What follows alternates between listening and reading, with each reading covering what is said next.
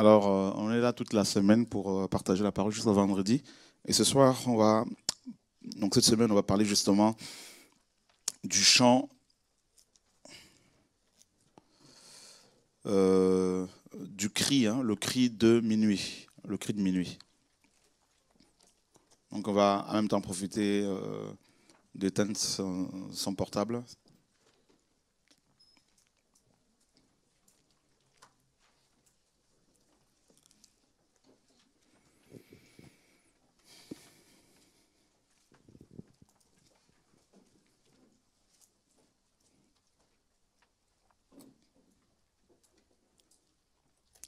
le cri de minuit. Nous sommes dans Matthieu chapitre 24.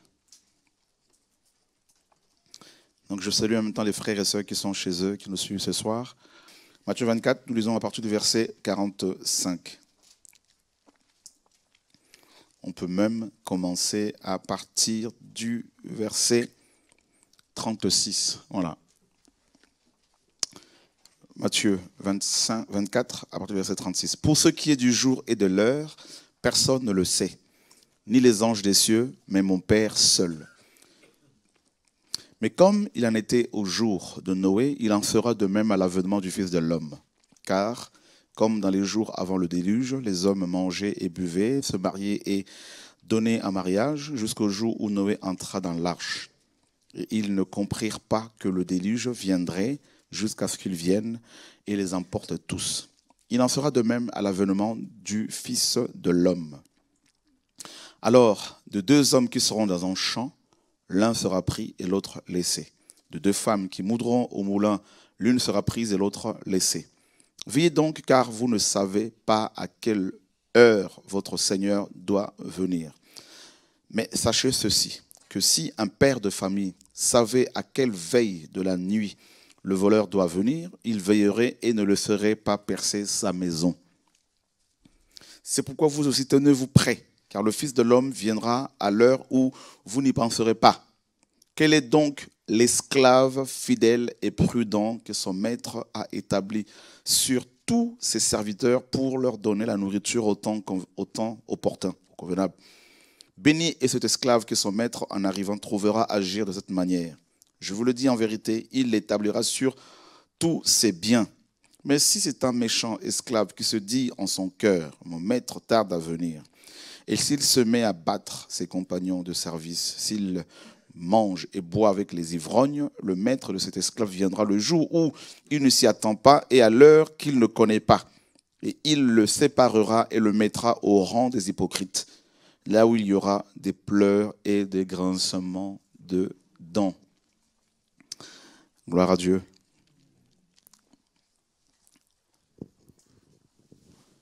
Alors, le Seigneur nous apprend, on connaît ce passage, euh, que le jour de son avènement euh, n'est connu que de lui, du Dieu seul, du Père seul. Et euh, comme vous le savez aussi, personne ne peut, personne ne doit vous dire, vous donner une date précise comme certaines personnes l'ont fait hier et encore tout récemment. Voilà, donc personne ne connaît le jour exact, mais simplement nous avons, euh, des indices qui euh, nous confirment que le Seigneur, notamment actuellement, hein, que le Seigneur est en train vraiment de revenir. Et mais ce qui nous intéresse ici, c'est plutôt le verset 45. Il dit, il parle des esclaves qu'il a établis. Quel est donc l'esclave fidèle et prudent? Doulos, esclave. Et euh, donc le Seigneur nous apprend que il a des esclaves qu'il a établis sur ces gens. Et euh, tout au long de cet enseignement, de cette semaine, pardon, comme je vous l'ai dit, nous allons parler bien sûr du chant de minuit. Et euh, ça, c'est le thème principal, le chant de minuit. Hein. donc, et euh, on parlera aussi du chant du coq. Et, euh, puis il y aura des sous-thèmes. Euh, comme là ce soir, peut-être on va parler aussi de, des esclaves. Voilà. Et nous savons tous que c'est un esclave. hein. Et puis, on nous dit que cet esclave doit être fidèle.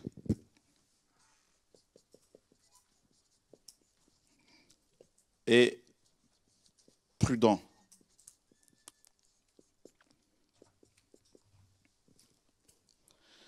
Et euh, fidèle ou encore sûr.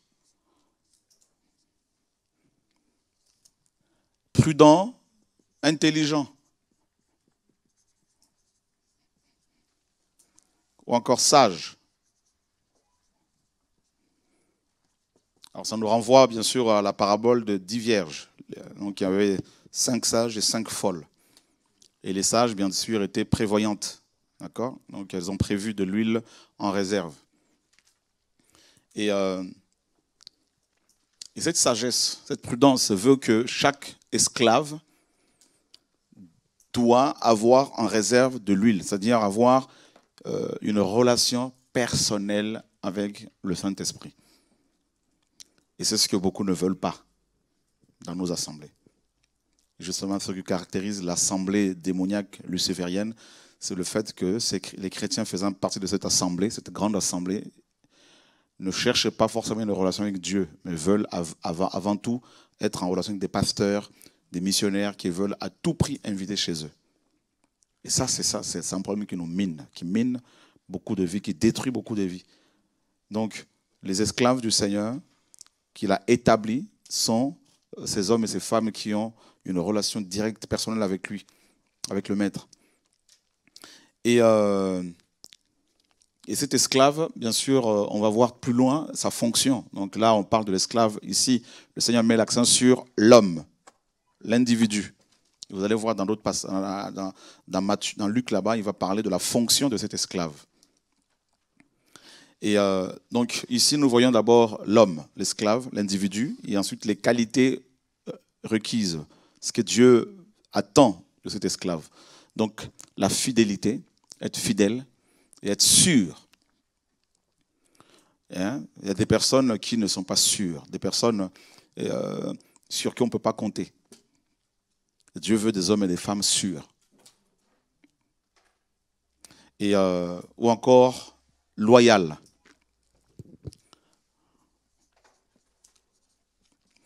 Être une personne loyale. Voyez? Et, euh, et puis, par rapport à la, prudence, hein, il dit dans Matthieu 16, Luc, euh, Matthieu 10, 16, il dit, je vous ai envoyé, voici je vous envoie comme des brebis ou des agneaux, dans Luc, au milieu des loups. Soyez, n'est-ce pas, euh, prudents et simples, ou encore purs. Voilà, prudent, la prudence du serpent. Donc être intelligent. Et, euh, et comme vous le savez, le serpent, tout le monde veut le détruire, tout le monde veut le tuer. Donc il faut qu'il soit à chaque fois sur ses gardes.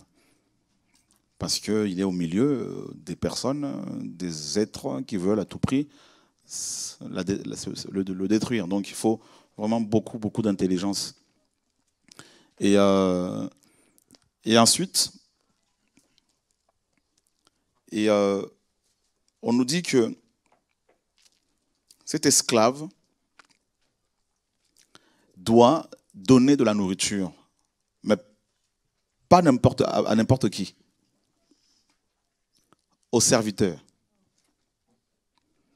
Parce qu'ils sont appelés à servir. Et c'est la nourriture qu'on leur donne qui va leur permettre de servir. Et, euh, pas n'importe quel, à quel moment, donc au temps opportun, au temps convenable. Alors, temps ici, c'est la mesure. Donc, il faut vraiment avoir la nourriture à chaque époque. Il y, a un temps pour tout. Il y a une nourriture pour chaque situation. Et nous sommes dans Matthieu, dans Luc chapitre 12, à partir du verset 42.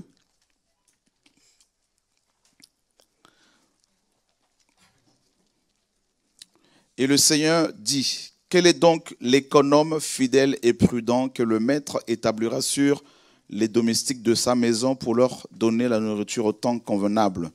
Donc ici, nous avons un autre détail que Matthieu ne relève pas, et que dans Matthieu, le Seigneur parle de doulos, hein, du grec doulos, traduit par esclave. Et ici, dans, dans Luc, le Seigneur parle de, n'est-ce pas, économe, d'un économe ou encore gestionnaire,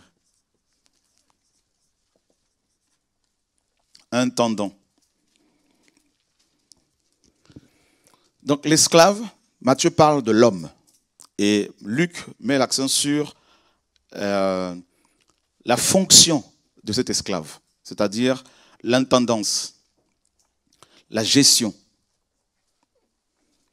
Parce qu'on peut être esclave sans avoir une fonction. Voilà. Alors que là, nous avons tous des fonctions en tant qu'esclaves du Seigneur. Et, euh, et c'est important que chaque esclave du Seigneur connaisse bien sûr sa fonction dans le champ de Dieu. Et, euh, qu'est-ce que le Seigneur dit ici? D'abord, Pierre, dans 1 Pierre chapitre 4, verset 10, il dit, donc quelqu'un pourra le, le, lire pour nous là rapidement, 1 Pierre chapitre 4, verset 10.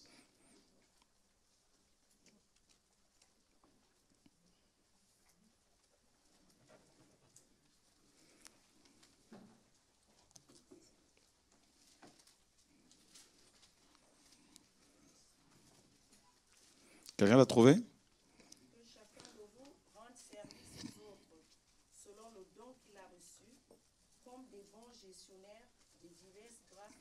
Que chacun de vous rende service hein, aux autres.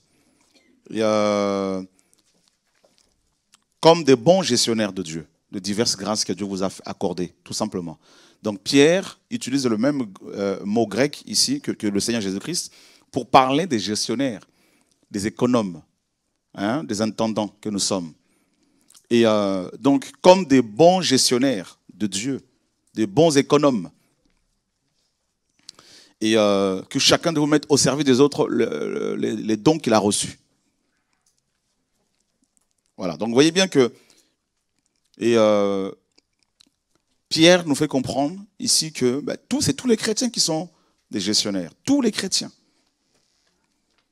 Donc quand le Seigneur dit ici, dans Luc et dans Matthieu, euh, quand il parle de l'esclave au singulier qu'il a établi sur, ça, sur ces gens pour leur donner la nourriture autant convenable, il ne parle pas forcément d'un homme euh, ou d'une personne seule, comme euh, certaines sectes l'enseignent en disant que oui, c'est notre prophète seulement qui a reçu ce mandat pour nourrir tout le, monde entier. Et ceux qui ne le suivent pas, ben, ils ne pourront pas être sauvés. Non, Pierre utilise ce, ce terme grec pour, n'est-ce pas, l'appliquer, il applique à tous les chrétiens. Donc nous sommes tous des gestionnaires. Chacun a reçu quelque chose de la part du Seigneur et oh, personne ne doit envier l'autre. Personne ne doit chercher à posséder ce que l'autre a reçu. Et c'est ce qui nous a causé des problèmes ici, c'est ça. C'est que tout le monde veut faire ce que tu fais. Et ça cause de il y a ce qui se dans les églises. Ça amène de la jalousie, la compétition et euh, les, histoires à chaque fois. Voilà. Donc, euh, alors que si chacun connaissait sa place, parce que nous sommes dans un corps avec des fonctions bien définies, il n'y aurait pas d'histoire. Voilà, donc, euh, alors un économe chez les, Grecs et les Romains, euh, les Hébreux notamment, c'est quelqu'un qui avait la charge, qui s'occupait des biens de son maître. Hein? Donc c'était quelqu'un qui était sûr, qui était fidèle, qui était loyal, et, euh, et à qui son maître avait confié la gestion de tous ses biens. Donc, ils pouvaient réceptionner des marchandises, tout ça, et les compter, et euh, les expédier, et, euh, et ne faisait que rendre des comptes, tout simplement. Et il avait, c'était quelqu'un qui avait appris non seulement à gérer, mais aussi à rendre des comptes. Et malheureusement, je, reviens, encore sur, nos propres expériences. Nous avons des frères et sœurs chez nous qui ont eu à gérer des groupes des assemblées. Il y a eu des soucis. certains groupes, certaines assemblées se sont cassées. Mais ils n'ont pas eu cette, humilité, cette, euh, cette euh, prise de conscience pour rendre des comptes sur la gestion, sur la, gestion de ce travail, de, cette, cette, œuvre. Mais à la fin, chacun de nous aura des comptes à rendre. Mais on n'a pas appris. Bien sûr, on a enseigné, j'ai beaucoup enseigné là-dessus, sur le fait de, d'apprendre, sur le fait de rendre des comptes. Et beaucoup ne savent pas rendre des comptes. Pourquoi, à votre avis Ce ne sont pas des bons gestionnaires. Ils ne sont pas, et euh, pour beaucoup, malheureusement, même s'ils avaient prêché le retour à la parole, mais ils ne sont pas de Dieu. Parce que, aussi, il y a beaucoup d'orgueil. Apprendre à rendre des comptes.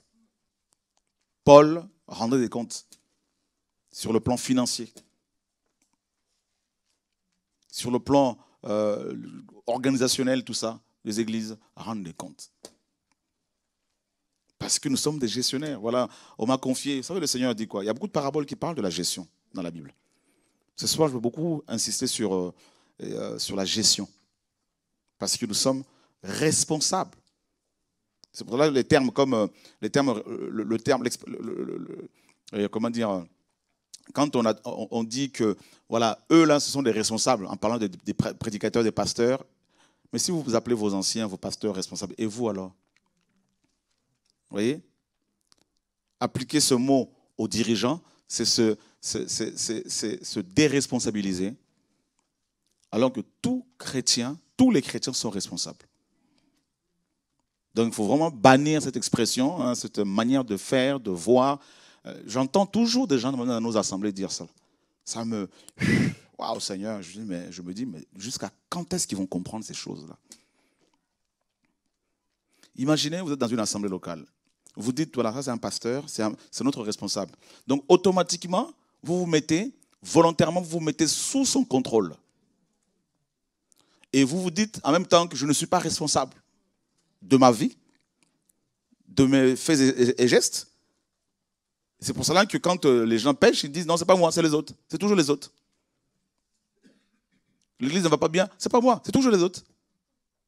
Il y a un problème je vois des gens, des jeunes qui, ont géré les assemblées et qui viennent et qui disent Bon, euh, voilà, moi, euh, et, euh, je gérais tel groupe, mais il n'y a plus personne, c'est pas moi, c'est pas les autres m'ont attaqué, tout ça. attends, mon ami, tu as un problème là. C'est pas comme ça. On te confie une entreprise, il n'y a, plus, de salariés, il n'y a plus personne, et tu te dis que c'est pas, c'est, pas, les autres. Donc, c'est pour cela qu'on parle de la loyauté, hein, loyauté être sûr, être sage, être intelligent, parce que ce sont des qualités qui sont, n'est-ce pas, indispensables euh, à la bonne gestion d'une œuvre, de l'œuvre que Dieu nous a confiée.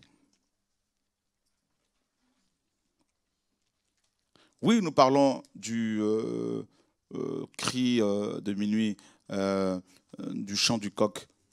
Oui, mais il faut d'abord commencer par dire, par montrer aux gens, par révéler aux gens leur, n'est-ce pas, responsabilité, qui ils sont. L'identité, ici, nous parlons de l'identité des chrétien.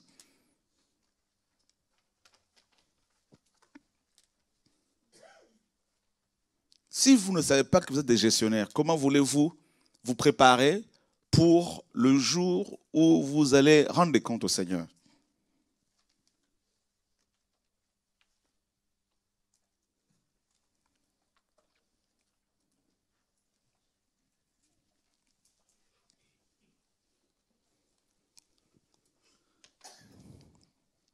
Donc, l'argent que Dieu vous donne, qu'il nous donne, nous aurons des comptes à rendre le jour du jugement. Oui, les enfants, pareil. De la naissance à leur mariage, de la naissance jusqu'au départ de vos maisons, pour qu'ils fondent leur foyer. Tout ce qu'on leur a inculqué, tout, tout, tout, tout. Tout. On aura des comptes à rendre par rapport à tout ça. Là.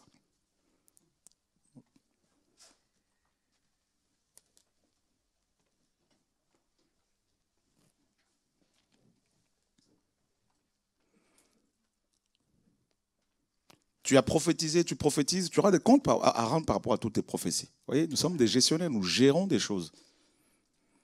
Ta propre vie, comment tu la mènes, comment tu la gères, tout ça, là, tu auras des comptes à rendre. Tout.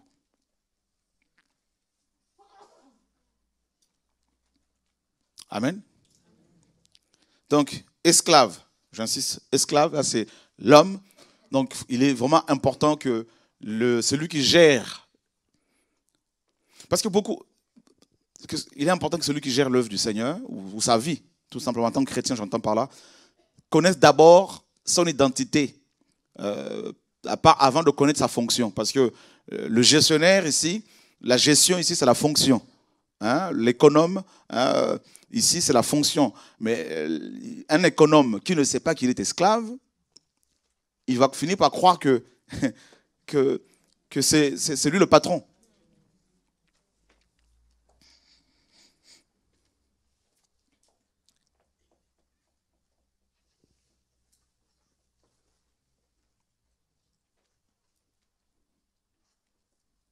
C'est pour cela beaucoup de dirigeants, beaucoup de prédicateurs, euh, ou des gens qui dirigent des œuvres, hein, que ce soit œuvres sociales, peu importe, quand le maître du chant leur dit arrêtez, passez à autre chose, ils ne veulent pas, parce que pour eux, c'est à eux. Ils ne comprennent plus. Ils ne savent pas qu'ils sont esclaves. Quand ils se convertissent, hein, quand ils, se convertissent, ils, sont comme des enfants. Mais à un moment donné, euh, quand ils ont une charge, euh, une gestion, à un moment donné, ils oublient qu'ils sont, ils sont esclaves. Ils oublient ça ils deviennent des patrons. Et c'est pour cela que vous avez des pasteurs à qui on porte des Bibles. Voilà. Des pasteurs qui veulent être nourris par les autres. On en a plein, même chez nous. À un moment donné, ils ne connaissent pas leurs limites. Ils ne savent pas qu'ils sont esclaves du Seigneur.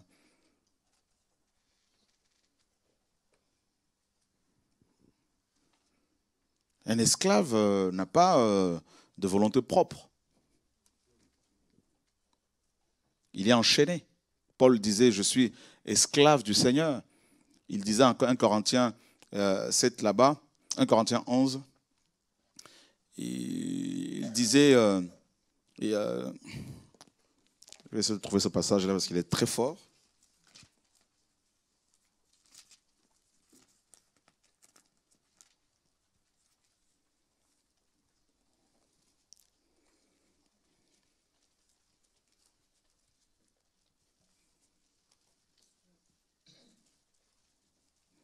Seigneur, merci pour ta parole.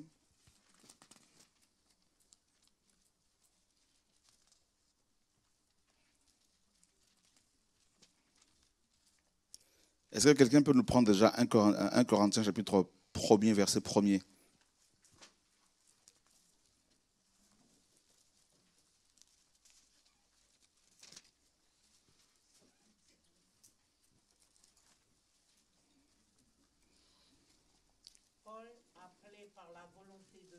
Mhm.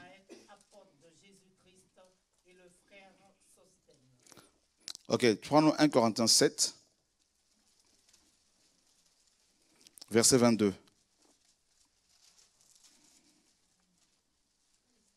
à 23.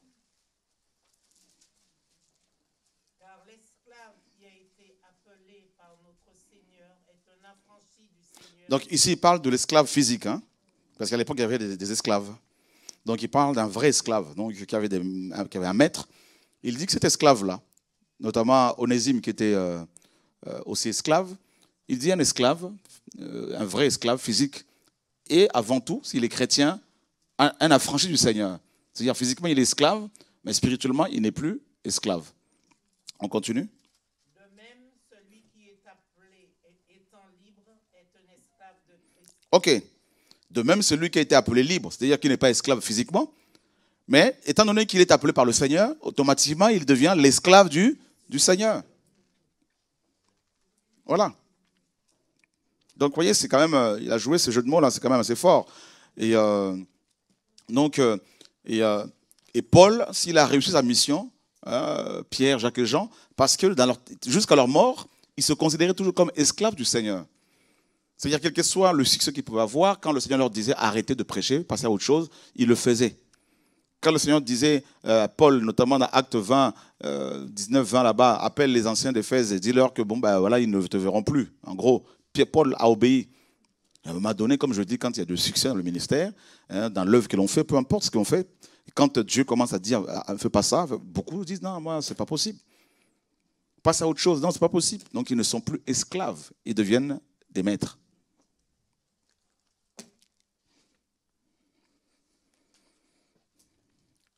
Gestionnaire, oui, mais esclave avant tout. Mais regardez où sont les esclaves du Seigneur véritablement dans nos assemblées.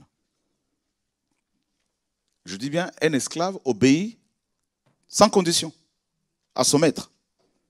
Et nous, en ce qui nous concerne, c'est ne pas obéir euh, euh, aux hommes, sans réfléchir, mais à Dieu, bien évidemment. Et c'est pour cela un vrai esclave du Seigneur ne peut pas être compris par d'autres chrétiens. Non. Non. Parce que l'esclave du Seigneur est totalement soumis. Voilà. Au Seigneur. On peut lui demander quelque chose, mais si le Seigneur lui demande de faire le contraire, bah, il obéit au Seigneur. Donc forcément, il va déplaire aux gens. Donc ne cherchez pas d'abord des gestionnaires. Je veux gérer un groupe, je veux diriger, je veux faire ci. Si tu n'apprends pas, tu n'apprends pas d'abord à être esclave du Seigneur, obéissant à la parole de Dieu. Beaucoup de gens, on leur dit, mais la Bible dit, ouais, mais bon, la Bible, tout ça, mais oui, mais moi, ma soeur, c'est écrit là. Tu veux diriger, mais tu ne te soumets pas d'abord à ton maître. Il y a un problème. D'accord? Donc c'est pour cela que dans Matthieu, le Seigneur parle de l'esclave qu'il a établi sur ces gens. Et dans Luc, on utilise un autre terme. Hein, ici, on dit c'est gestion. Voilà. Donc on dit bien établi, que le maître a établi. Et là, ce ne sont pas un gestionnaire selon le Seigneur qui doit préparer les gens pour le retour du Seigneur, qui doit se préparer d'abord lui-même. Il ne s'est pas établi lui-même. Il n'a pas été établi par les hommes. Il n'a pas été établi parce qu'il a fait des études théologiques, tout ça là. Il a été établi par le Seigneur, comme il l'a dit dans Jean 15. C'est moi qui vous ai choisi et établi afin que vous alliez, que vous portiez des fruits, que vos fruits demeurent. Donc ne cherchez pas la reconnaissance des hommes. Ça, j'insiste encore là-dessus. Des gens vont dire non, mais nous, on a collaboré avec le frère, Chora. Mais ça, c'est arrêtez cette mentalité-là. Non, mais frère, il faut absolument que tu viennes chez nous. Arrêtez de vouloir m'inviter pour que je fasse gonfler vos ministères. Arrêtez cette mentalité-là. Je peux venir tous les jours, mais ce n'est pas pour autant que vous serez reconnu, établi. Vous comprenez? C'est ça qu'il faut comprendre. Je ne suis pas Dieu. Voilà. Ne cherchez pas d'autres personnes à gauche, à droite, tout ça. Non, là-bas, il a une, une grande onction, il faut qu'il vienne. C'est une peine euh. Donc, les portables, est-ce qu'on peut voilà, vraiment les éteindre Parce que ça, c'est des choses, je ne vais pas me répéter tout le temps. Donc, c'est des choses qui doivent être. Euh, un, chrétien comprend ces choses-là. C'est vraiment. Nous, nous chrétiens, disons, nous chrétiens, euh, soi-disant évangéliques, euh, basés sur les évangiles, on, a beaucoup de difficultés. Quand on regarde d'autres dénominations, prenons le cas des témoins de Jéhovah, je sais que beaucoup de choses leur manquent, notamment la révélation du Seigneur Jésus-Christ, mais on voit une forme de discipline. Hmm? Le jour où ils vont avoir la révélation du Seigneur Jésus-Christ, ça va être terrible. Mais chez nous, il y a tellement de désordre à gauche, qu'on soit noir, blanc, jaune, marron, il y a tellement de bazar. Tout ça pourquoi? Parce que les gens veulent des fonctions. Ils veulent des responsabilités. Ils veulent le ministère. Mais ils ne veulent pas être esclaves du Seigneur d'abord. C'est pour cela que vous allez les voir mettre en place leur site portant leur nom, montrer leur famille. Pourquoi? Parce que un esclave du Seigneur ne cherche pas à être vu. Il cherche à mettre le nom de son maître au devant. Voyez? Ah vous avez vu un esclave qui va ouvrir un site internet, mettre son nom? Et son maître qui est derrière? Voilà. On le reconnaîtra leurs fruits. Le m'as-tu vu? C'est ça nos assemblées. Il n'y a qu'à aller sur Facebook, aller voir ces, toutes ces pages de pasteurs, de prédicateurs. Vous allez voir rapidement qui sont ceux qui sont esclaves du Seigneur, qui sont ceux et celles qui ne le sont pas. C'est visible. Hein? Dieu expose davantage les choses. Jean-Baptiste disait quoi? Qu'il croisse et que je diminue. Aujourd'hui, non, on a dit non, non, que son nom diminue et que l'on voit plus mon nom. Voilà. Le Seigneur a dit, vous le verrez, vous le reconnaîtrez leurs fruits.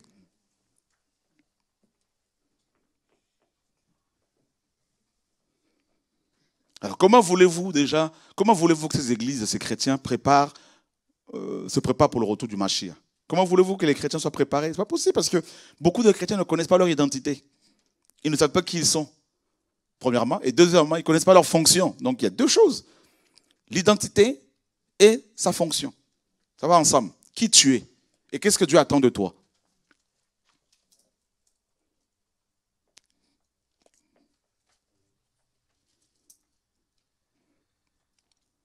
C'est pour cela, quand vous lisez les épîtres, à chaque fois les apôtres disaient, Paul, esclave du Seigneur Jésus-Christ. Pierre, esclave du Seigneur Jésus-Christ. Voyez? Et beaucoup de traducteurs bibliques ont traduit ce mot doulos là par serviteur. Mais non, c'est esclave. Parce qu'ils se disent, non, non, ça choque, alors on va utiliser, ils vont utiliser un euphémisme, tout ça là, pour amoindrir, n'est-ce pas, la portée de, de, de, de ce nom-là, tout ça là. On est esclave du Seigneur. Esclave du Seigneur, Paul le dit.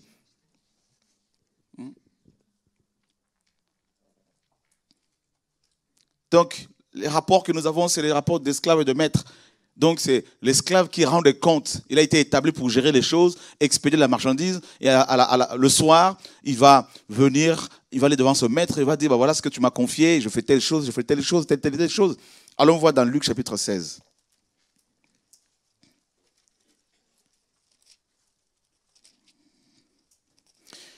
Il disait aussi à ses disciples, il y avait un homme riche qui avait un économe, donc un gestionnaire, un intendant, un intendant, qui fut accusé devant lui comme dissipant ses biens. Voyez? Donc il avait la gestion des biens de son maître, cet économe, et il avait, oublié qu'il était un esclave. Il se comportait comme un patron. Et il a dissipé les biens de son maître. Voyez?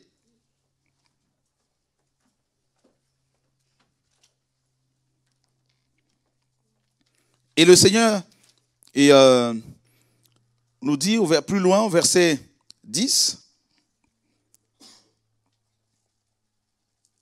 Celui qui est fidèle dans les petites choses est aussi fidèle dans les grandes choses. Et celui qui est injuste dans les petites choses est aussi injuste dans les grandes choses voyez? Et c'est terrible. Donc il est question de la fidélité. On lui confie la, gestion des biens. Les biens du Seigneur représentent d'abord ses enfants.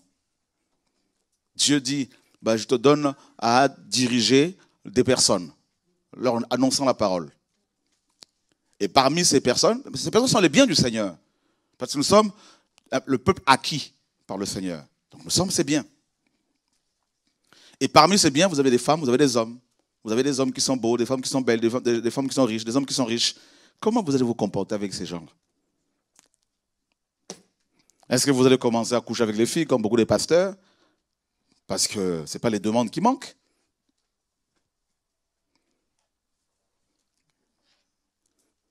Est-ce que vous allez commencer à prendre l'argent des gens? Parce qu'il y a des gens qui gagnent bien leur vie. Mhm. Ça va très vite, hein? Peut dissiper comme ça. Et l'argent que le Seigneur vous donne pour, pour son œuvre, comment vous allez pouvoir le gérer? Quand les gens entendent que nous avons 160 et quelques mille euros aujourd'hui par rapport à l'achat ici, là, beaucoup se disent, attends, lui, il doit avoir plus que ça. parfois, le frère David, il, rigole, il dit, mais il savait. Vous voyez? Comment tu peux C'est pour beaucoup, oh Mais comment il ne peut pas prendre ne serait-ce que 20 000 pour. Euh, vous voyez? C'est l'argent du Seigneur.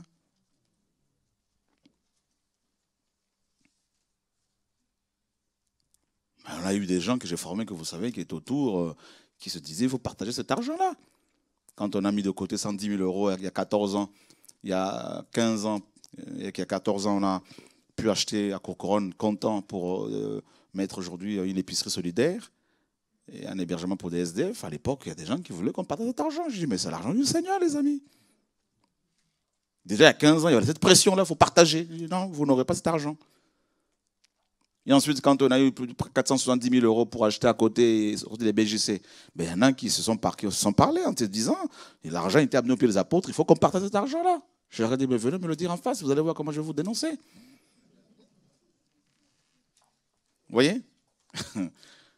Ça va très vite. Hein. Il fallait dilapider l'argent, partager tout ça. Toi 30, toi 40, tout ça dans les communes. Ça ne se passe pas comme ça, les amis. Voilà une des raisons pour lesquelles je suis attaqué comme ça. Ah oui. Je ne peux pas dire ouvertement c'est à cause de l'argent.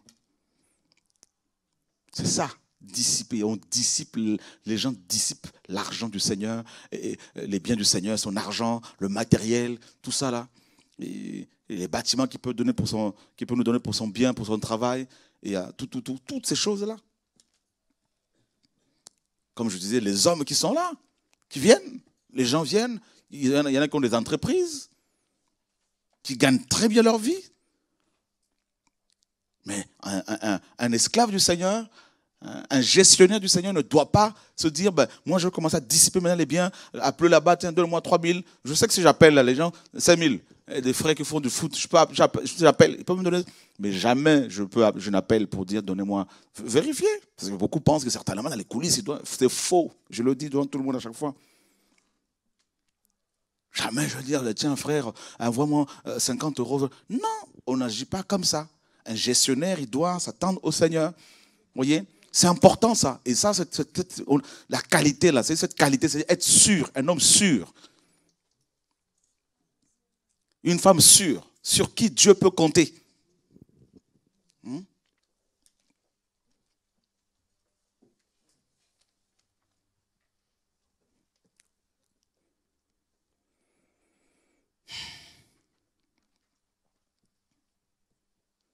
Et euh, donc voilà, on a compris la première partie. hein. Donc être euh, esclave du Seigneur. Voilà. N'oubliez jamais là-dessus, hein, euh, n'oubliez jamais pardon, euh, euh, cet aspect de choses, le fait que nous sommes es- des esclaves du Seigneur. On n'a pas à nous acclamer, on n'a pas à porter nos Bibles, on n'a pas à nous élever, on n'a pas. nous sommes des esclaves. On n'a aucun mérite, on n'a pas à dire oh non mais je mérite telle telle chose. Rien. Tu es esclave, tu exécutes l'ordre du Seigneur. Voilà. Et vous donc, si vous avez fait tout ce qui vous a été ordonné, dites nous sommes des serviteurs inutiles. Voilà, c'est simple. Voilà. C'est je dis aux frères et sœurs, ne mettez pas un site internet au nom de Shuraku et tout. Non, arrêtez ça. Y a pas, ça ne, marchera pas. Voilà. Une page YouTube, oh, regardez, je n'ai pas de oh, page Facebook ah, bah, bah, bah, avec mon nom, ça n'existera pas. Voilà. Si vous, si vous voyez ça, c'est que ce n'est pas moi, quelqu'un l'a fait et je ne suis pas au courant. Voilà.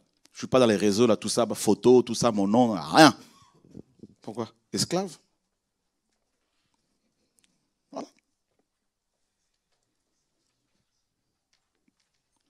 D'accord? Et la gestion. Dieu te donne à gérer quelque chose. Les gens viennent pour, le- pour la détruire. Ben, je dis non, je suis désolé. C'est la gestion que Dieu, Dieu m'a confié à gérer ça. Hein? Comme il m'a dit, tu vas mettre en place une télé. Les gens viennent, ils veulent euh, maintenant changer le message. Je dis, je suis désolé. Si vous n'êtes pas d'accord, ben, euh, partez. Mais je ne vais pas changer le message parce que je gère ici ce que Dieu m'a donné à gérer ce travail-là. Ben, vous voulez qu'on avance ensemble? Ben, Il faut que. Je dis, ce n'est pas une église où on va dire il faut des anciens. Ce n'est pas, pas, pas une église. vous comprenez un peu ça? C'est ce que beaucoup de gens. Ils ne comprennent pas. Beaucoup de gens, Dieu leur. Regardez. Dans le passé, je voulais tellement pas avoir des soucis avec les gens que je m'étais pratiquement retiré de l'œuvre que Dieu m'a confiée à gérer faisant confiance aux enfants dans la foi, en leur disant gérez tout, gérez tout. Je leur disais comme ça. Eh bien, ils ont, ils ont géré. À leur manière. Les femmes, pour certains, l'argent pour d'autres. Et Dieu m'a dit un jour, il est venu me voir, il m'a dit il faut que tu reprennes les choses en main. Il faut que tu reprennes ta, place. C'est pour cela que les réunions de réveil ont, débuté ici. Et les mêmes, quand ils sont revenus, certains, pour dire, ben, l'argent qui commence à rentrer maintenant, on veut encore. Non, non, non. Et quand on a commencé les réunions de réveil, je me rappelle très bien, j'avais confié la gestion la- des finances à une sœur congolaise. Et des gens allaient la voir à la fin de la réunion des pasteurs pour dire, Donne- donne-moi 15, donne-moi 20, donne-moi 6. À la fin, elle venait me voir, me dit, mais un tel pasteur qui est passé, mais je dis, il a son église là-bas avec des frères. Pourquoi il ne va pas donner l'argent là-bas? Et c'est pour ça que j'ai donné la gestion. Dieu m'a dit, donne ça à David. Je me rappelle un jour, je suis parti en mission, David m'appelle et me dit, mais tel pasteur, veut me voir pour me dire de donner 200 euros à tel pasteur. J'ai appelé ce pasteur, je dis, écoute, tu es autonome depuis 2012. Si tu continues, je vais faire une vidéo, c'est sur toi. Hmm. Après, il n'a plus embêté, c'est fini. Et c'est pour cela que vous voyez, l'argent est géré, on arrive à, asseoir les choses. Parce que pendant des années, et personne n'a pu acheter quoi que ce soit parce que l'argent était détourné, utilisé autre- autrement. Voilà. Ouais. C'est terrible la gestion là.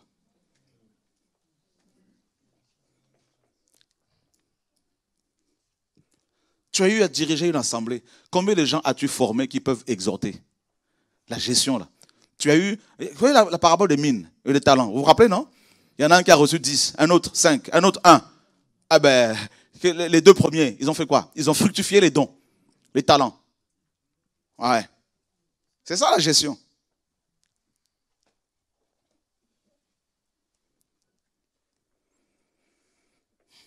Et le problème, c'est que dans beaucoup d'églises, les gens sont stériles. Y a pas, ça ne bouge pas. Je ne parle pas forcément de la prédication comme nous, comme nous, chacun son appel. Mais qu'est-ce que toi tu fais pour le Seigneur depuis ta conversion? Pose-toi la question, qu'est-ce que j'ai fait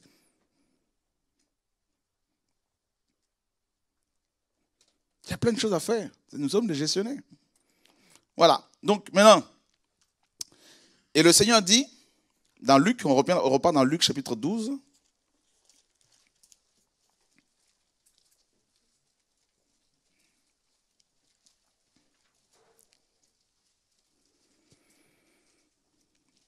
Béni est cet esclave, verset 43, que ce maître, à son arrivée, trouvera faisant ainsi. Je vous le dis en vérité, il établira sur tous ses biens. Donc on apprend ici que le Seigneur va établir de nouveau les gens. Donc il nous a établis présentement sur terre. Et si nous sommes fidèles, hein, et loyaux, tout ça, ben, à, son retour, lorsqu'il va établir son, son règne millénaire sur terre, il va nous établir sur d'autres biens d'après la parabole des talents, il y en a qui vont avoir la gestion de 10 villes, d'autres 5. Voilà. Vous vous rendez compte? Donc, c'est-à-dire que tout ce que nous faisons actuellement, jusqu'à notre mort, tout ce que nous faisons pour le Seigneur, la gestion des choses du Seigneur que nous avons, dont nous avons la charge, n'est autre qu'un entraînement. C'est-à-dire Dieu nous entraîne pour la bonne gestion du royaume à venir.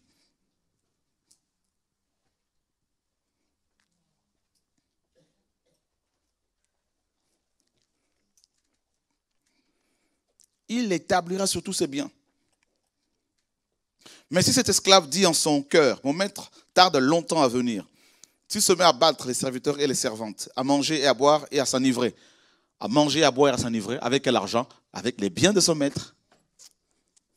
Vous voyez? Ben ouais, C'est ce qu'ils font beaucoup de gestionnaires aujourd'hui. Ils boivent, ils mangent avec l'argent de leur maître. On dit, pasteur, on a cotisé l'argent pour acheter. L'argent est parti où? Depuis que vous cotisez toujours l'argent, on ne fait rien avec. On dit, mais c'est bizarre, mais lui-même, il a une grosse caisse, tout ça, là.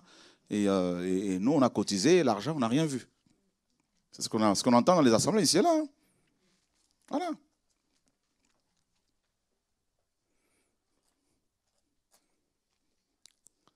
Comme les pasteurs qui récupèrent de la nourriture, tout ça gratos, et qui le, qui le revendent aux frères et sœurs dans les assemblées. Il y a beaucoup de choses. Même les païens nous enseignent. Ils donnent gratuitement beaucoup de choses. Seigneur, sauve-nous. Le maître de cet esclave-là viendra en un jour qu'il n'attend pas et à une heure qu'il ne sait pas. Et il le coupera en deux. Voilà. Effectivement, il est question ici du retour du maître. Le maître est parti, effectivement, il y a 2000 ans. Hein, il est parti au ciel. Et il nous a laissé la gestion des choses. Les dons, les prophéties, visions, tout ça, tous ces dons, les biens matériels, l'argent, des hommes comme vous et moi. Donc, chacun, à son niveau, essaie de gérer quelque chose. Mais le maître nous dit qu'il va revenir. Voilà. Là, nous rentrons dans la deuxième partie de cette euh, formation. Je pense que la deuxième partie, je vais la réserver plutôt pour demain, hein, parce que là, il faut, développer les différentes euh, veilles bibliques donc pour ne pas bâcler cet enseignement. Mais donc je vais plutôt s'arrêter, comme c'est une introduction là, ce soir, là, vraiment sur euh, euh, notre identité en tant qu'esclave et notre fonction. Regardez, vous êtes dans une entreprise. Vous ne savez pas qui vous êtes dans cette entreprise et vous ne savez pas ce que vous devez faire dedans. Ah c'est chaud.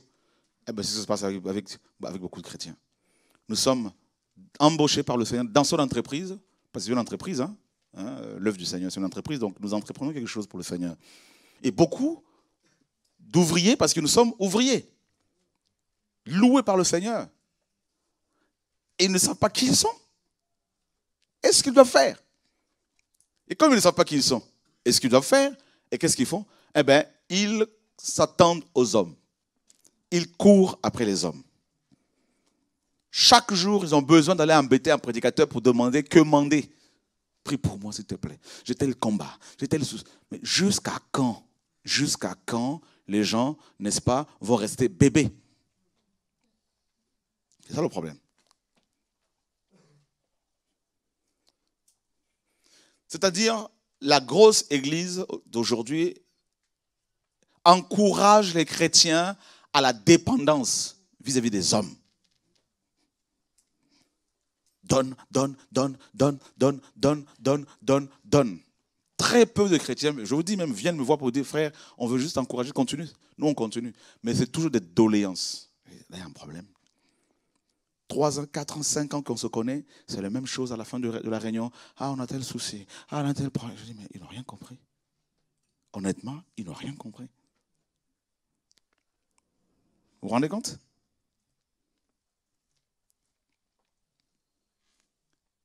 Et imaginez avec cette mentalité, ben, beaucoup des pasteurs, justement, font du commerce. Ils en profitent. Ils disent, voilà la méthode, voilà ce qu'il faut faire. Et donc, du coup, toute une assemblée de 500, 400 personnes, 1000 personnes, composée des gens qui ne sont plus esclaves du Seigneur, mais esclaves des hommes. 1 Corinthiens 7, 23.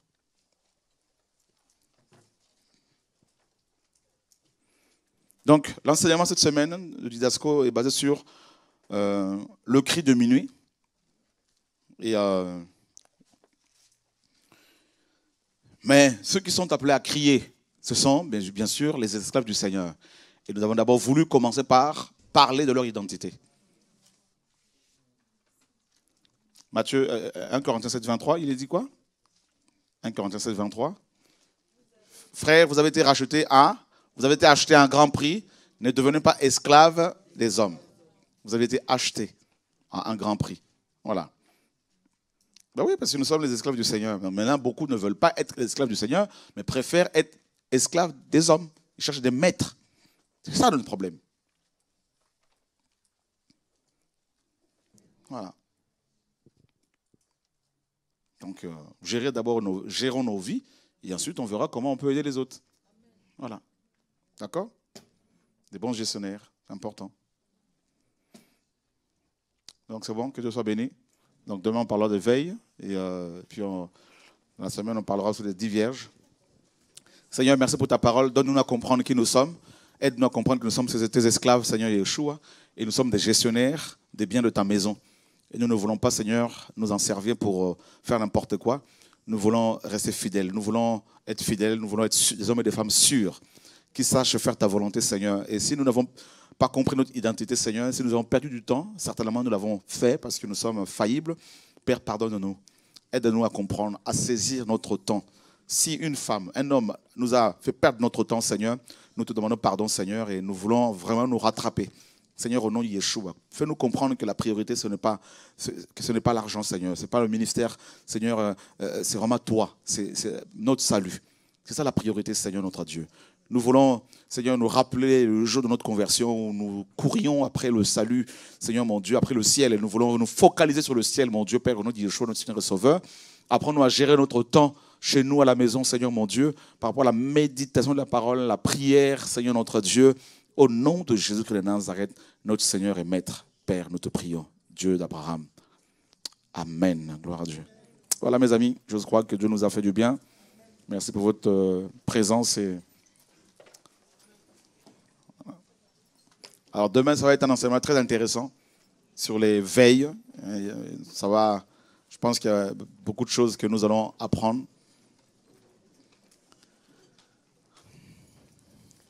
Voilà.